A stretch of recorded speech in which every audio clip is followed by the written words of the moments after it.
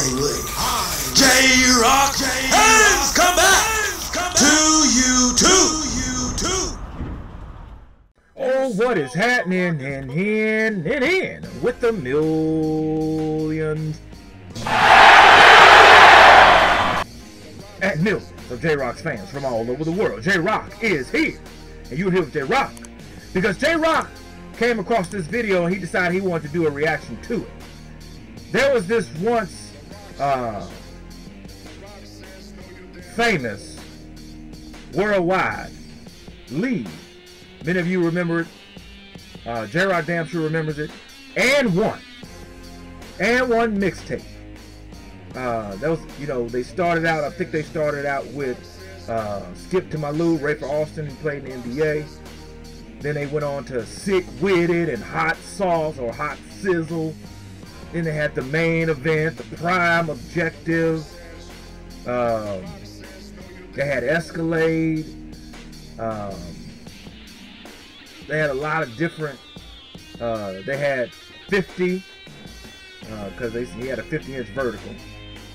But for, and I've always and it just it didn't dawn on the great one until I saw this on YouTube. Whatever happened to And One? Because I remember the last I remember them, they were doing. I used to tape the the the, the, the And One mixtape tour where they would go on the road and try to find you know new members to add to the group, right? Uh, they had, I remember they had Spider, and then I remember the Professor. You know, those were some hype games. Because uh, I remember that, but I just I don't know what happened to it. So I guess this video is going to tell us exactly what happened to And One. Let's check this out, man, because I'm I gotta admit I'm curious about this. What what happened to And? You guys remember And One, right? Yeah, it was that company that made those clothes, shoes, and those basketball mixtapes that was really started by them. And it promoted street ballers like Hot Sauce, Skip to My Lou, and The Professor. So what the hell happened to them? I mean, they were like the number two basketball shoe seller only after Nike. So we're gonna look back at the history of And One and see what went wrong. So before we get straight to that, make sure you like, share, subscribe, and hit that notification bell for the culture so you won't miss any of my videos. And let's get into the vid, man. Hey man, it's your boy YG, aka Ngala, and today we're basically gonna be talking about the rise and fall of And One basketball. So let's take it all the way back to 1993. And One was started by these three guys, and they were only graduate students at the University of Pennsylvania. So they started selling And One t-shirts out of the back of their car, and it instantly became hot. I mean, everybody was buying them. And the shirts contained trash talks and slogans like, pass, save yourself the embarrassment, don't laugh, you're next or even my game's tighter than your mom's wig. And the t-shirt started off in Foot Locker and within the second year of launching, it reached 1,500 stores across America. And in the mid of 1996, And One finally got their first spokesman. And you might know him. His Oh, name was yeah. Stephon Stephon. Marbury. With the Marbury signing, And One launched its first pair of basketball sneakers and finally expanding their brand into the footwear category. Marbury was also named to the All Rookie team in 1997, so this was more exposure to And One. Hey, from the world famous Wake Up Show with King Tech and DJ Revolution, and y'all about to view the N1 mixtape on video, coming to you live. In late 1998, a videotape was containing street ball stunts was delivered to N1 by Marquise Kelly. He was the coach of the Benjamin Cardozo High School team in Queens, New York. And the tape that he sent had low quality, poor resolution, and it was hard to hear anything. But it featured a street baller by the name of Rafer Alston, aka Skip to My Lou. At the time, Alston was a student at Fresno State who had entered the 1998 NBA draft. The videotape will soon be known as the Skip Tape, which was referring to Alston's streetball nickname, Skip to My Lou. And that's pretty much how he got it. He would later sign on with And One. So in 1999, And One shot their first series of commercials and print ads incorporating NBA players like Darrell Armstrong, Toby Bailey, and Miles Simon. And when the traditional marketing campaign proved unsuccessful, a strategy was formed to use the skip tape. Yeah, it was edited and reprinted into 50,000 copies. And over the next eight weeks, it was spread across basketball camps, clinics, and record labels. The tape will become the first mixtape and quickly made Rafer Alston into a celebrity. And when N1 became a product partner with Foot Action, this strategy evolved into a national program. And it started in the summer of 1999. A free N1 mixtape was given with any purchase, and roughly around 200,000 tapes were spread in the span of three weeks, making this promotion one of the most successful in US retail history. Filmmakers were then sent across the country to capture and find the next streetball legend. So fast forward to the 2000s, and one began to recruit more and more NBA players to wear their product. And this was a major power play in competing with bigger brands such as Nike and Adidas. Players like Latrell Sprewell, Kevin Garnett, and mm-hmm. Jamal Crawford brought N1 into the national spotlight and helped them secure shelf space in major footwear retailers such as Foot Locker and Foot Action. By the 2001 season, N1 was second only to Nike in market share among NBA endorsees. And this was a big part of them soon becoming the second largest basketball brand in the US only eight years after their establishment. N1 is also famous for the shoe known as Tai Chi, famously worn by Vince Carter during the 2000 Slam Dunk Contest. And this is where he put one of the greatest memo. NBA Slam Woo, Dunk Vince Contest showings of all time. Greatest dunker N1 ever. summer tours had already been going on from 1999, but in 2002, with the release of Mixtape 3, N1 officially expanded their annual streetball tours into the Mixtape Tour. Legendary streetballers such as Hot Sauce and the Professor will go from court to court to challenge the greatest streetballers in one-on-ones. And this entertained fans and provide much footage for future mixtapes. The streetballers who prevailed through the very end of the summer tours would receive endorsement deals from N1. From 2002 through 2008, the tours were televised live on ESPN under the name Streetball and competed with ESPN SportsCenter for the highest ratings. The summer tours began in America but soon branched into more than 30 countries. This will give N1 international fame and promoting the sale of their products in 130 different countries and territories. One of the most prominent appearances of N1 sneakers, aside from Vince Carter's dunk contest, was when Detroit Pistons Chauncey Billups took home the MVP honors during the 2004 NBA Finals and was wearing the N1 Rises. The mid-top sneakers' clean and aggressive look matched Chauncey Billups' game perfectly. In the Rises, Chauncey Billups will average 21 points and 5 rebounds in the series leading the Pistons to their first championship in 14 years, and picking up the MVP award in the process. And One apparel and footwear first appeared in the digital arena on Street Hoops in 2002. But in 2006, the brand officially made its entrance into the category, partnering with Ubisoft to release its first video game. And one Grammarly does more than catch errors. With Grammarly, you can find really good, no, perfect words that make your writing sharp or explicit. Street Ball.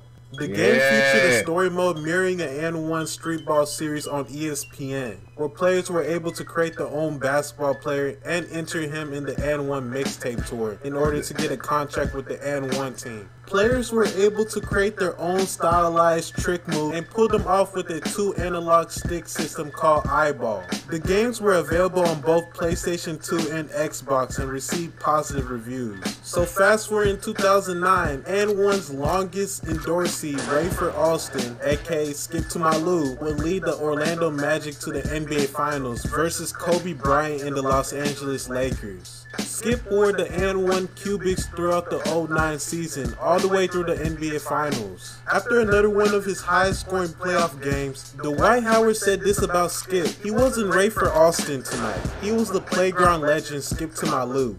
When he plays like the playground legend, he's tough to guard. The Magic lost this series in five games, but Skip's presence in the finals brought a great acclaim to N1, as his N1 background story was covered numerous times in the papers. So now we're on to the 2010s. Following a short hiatus, the N1 mixtape tour will come back in 2010, now known as N1 Live Streetball Tour. The tour continued to expand globally as the N1 team toured the world, and they were meeting success against most international teams. They remain undefeated outside the U.S. until they lost to Puerto Rico Street Ballers in 2012. Over the years, N1 has changed hands a few times. First being bought out by American Sporting Goods in 2005, and on August 25, 2011, N1 was sold to Galaxy Brands, a brand management company based in New York. The company later merged with Sequential Brands Group, a publicly traded brand management company,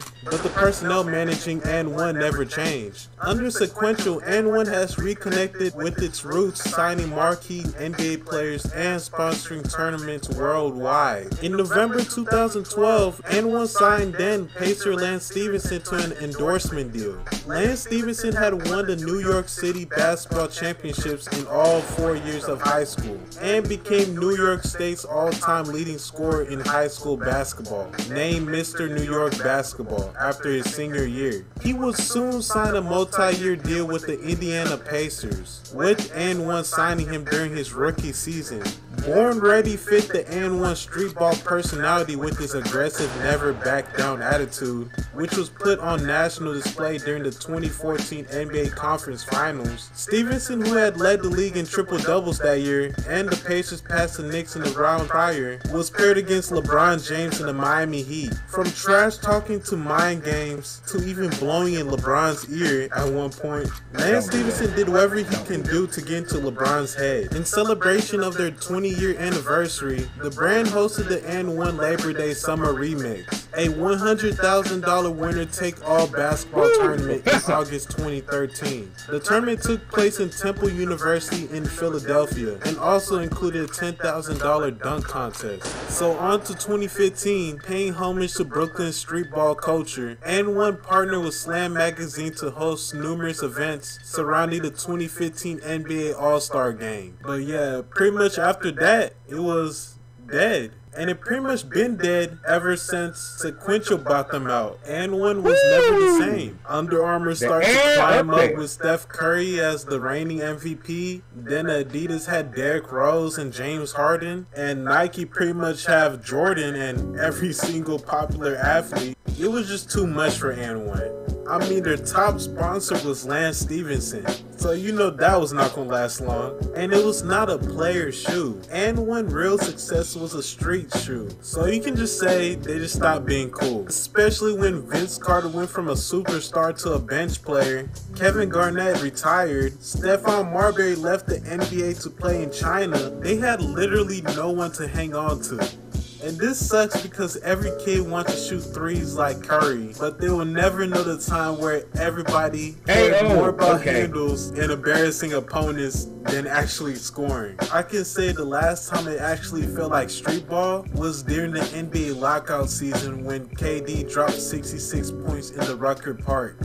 But aside from that, I just feel like street ball is just a thing in the past. So guys, I hope you enjoyed the video and tell me if y'all think N1 will ever be revived or anything close to what it was. So make sure you like, share, subscribe, and show love to the YG gang. And I'm out, bruh. And if you're still here, here are two videos you will enjoy. Well, J-Rocc says this. I was a big fan of N1. I remember watching their uh, N1 mixtape tour when they found the professor, they found Spider, uh, some of the other great dunkers, the air up there. The first dude I ever seen do a 720 dunk, uh, which was sick. They, I think they shut the game down. They're like, bro, we don't even, we don't to play no more. This dude just did a 720. Um, and I'm still waiting for somebody to do that in the dunk contest, NBA dunk contest. I'm waiting. I always thought, man, bring some and one game uh, dunkers in here, man. Some street dunkers in here. Let them go up against some NBA dunkers, man. These street dunkers will put a lot of these NBA dunkers to shame. I'm not saying they better basketball players, but as far as dunking, oh man, that would put on a show. Get the best dunkers from NBA against the best dunk. Man, that would put on a show right there. Million dollar grand prize. Make it happen. You see some of the best dunks you don't think you'd ever see. But I was a big fan of and one, And uh, yeah, I mean, afterwards, like he said, you know, a lot of their, um, you know, players that they signed just couldn't compete with Steph, LeBron, KD, Melo, uh, Russ, Harden, you know, Dame, those kind of guys, you know, Kobe, they just weren't with and one like that, you know. But man, I don't, I don't think it'll ever get back there, you know, unless, unless one of the the stars like a LeBron top guys, they actually start investing in that, and you see more guys getting signed. But outside of that, nah, man, um, they just couldn't get keep a lot of the top guys. But it was fun while it lasted. They had a great run. And uh, I know the professor, you see him out there every once in a while on YouTube, you know, doing a little, you know, basketball, dressing up as Spider Man or whoever, getting out there and hooping. But yeah, it was fun while it lasted. Post comments down below. Let J-Rocc know what you thought of his reaction to this video. No rhyme intended on that line. And if you enjoyed the Great One's reaction, make sure you hit that like button, subscribe, and share. Uh, also, if you got a reaction request, drop it down in the comment section below or on the People's Facebook fan page. And if I choose your request, I will give you a shout out right here on the People's channel. All right, lastly, hit that bell so that you can be notified that it is time to be electrified. Thank you for joining J-Rocc. Until next time, Mamba, Gigi, and Wakanda forever. Hear the smell! J-Rocc! Eat!